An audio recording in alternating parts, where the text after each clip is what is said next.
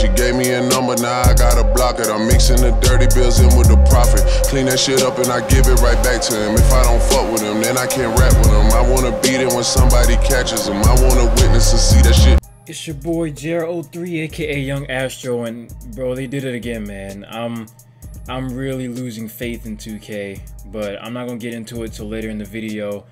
But I just want you to pay attention to how many alley-oops I'm getting and how much I had by halftime. Look, I have 41 by halftime, and majority of those are alley-oops. I didn't get the whole thing because I wasn't gonna do a video with this footage, but I had to after I seen the end of it. But I'm just getting lob after lob, and I'm using the same method I've been using, but I'm gonna just show you guys how to get a lot of VC. You gotta be patient though. You do have to be patient because they're banning people for the, all the little VC glitches and stuff. So I don't have a VC glitch. I have a legit way to get VC. Of course, it's a grind though. So just keep that in mind. That it's not gonna just come from wherever. It's gonna be you having to work for it though. But like I said, it is fast. I already almost have 100k, and it's been like it's been a couple of games. It's been a lot of games. I'm gonna say that much. But like I said, if you save, you'll be straight. Uh, one thing I do have to add though for my method is definitely try to get them to pass you the ball regularly and try to dunk it. Like don't don't try to always alley oop it. Try to get them to pass you the ball while you're cutting and then dunk it because the Hall of Fame CPU is so thirsty. No matter what you do, if you're already in an animation coming to the rim, they're gonna try to cut you off and you'll get the posterizer. Posterizer doesn't pop up unless they're in the restricted area. And sometimes it still doesn't pop up. I don't know what's, what goes on with it. Sometimes it'll be behind you, it'll pop up. Sometimes it'll be in front of you and it won't pop up. So I don't know what the deal is on that, but you know, it happens and sometimes it doesn't happen. It doesn't make a whole bunch of sense. Like there, you'll definitely see posterizer because they're right there, but they have to be in the restricted area pretty much. But you can't control that. But with Hall of Fame, they always close out. So don't worry about that. They always close out Hall of Fame. Right there, you see a baseline dunk.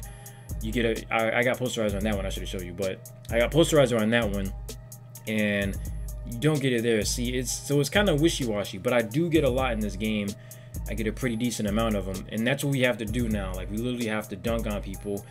Take advantage of your hall of, of your takeover though too, because you can just bully people if you have a completely slasher build, or if you have slasher primary, then you have to just be a bully once you get the takeover. And he's gonna do some nonsense layups, but you have to just keep on grinding through it. It's it's like I said, it's frustrating, and they made it even worse now. So you're gonna have to do stuff like that. If the paint's open, drive in, call for a regular pass, and dunk it. It's like I said, it's crazy, but you have to do that now because of what they done did with the dang game. So that's really all I got to tell you other than what endorsements I use to get as much VC per game as I get. I mean, you guys might be getting a lot too.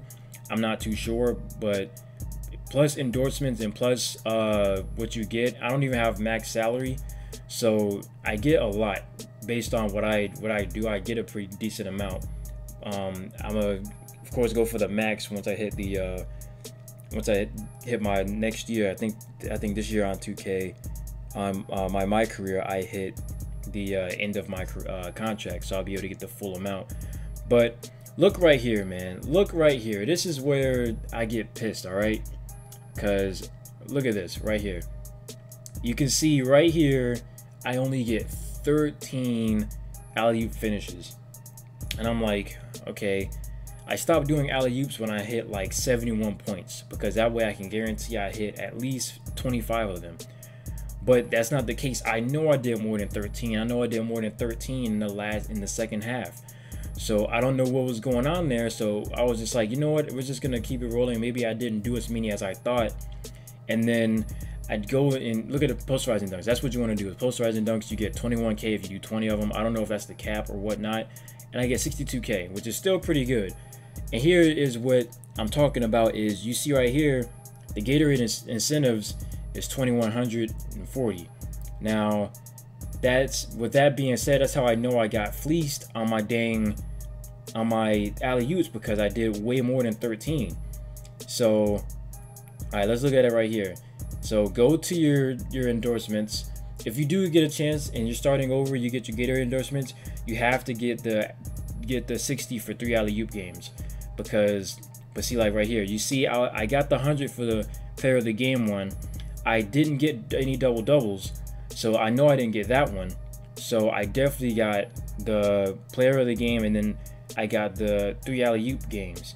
So that means if I do the math correctly, 60 2000 divided by 60 is definitely not 13. So I know I did at least 30.